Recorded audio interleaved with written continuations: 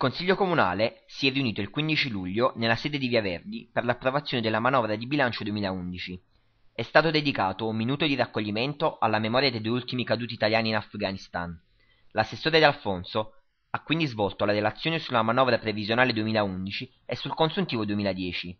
I punti principali del bilancio di previsione sui quali si è soffermato sono il mantenimento dei servizi fondamentali dell'ente, l'istituzione di una task force anti-evasione, la semplificazione della macchina comunale, la riduzione delle società partecipate ed il potenziamento della raccolta differenziata.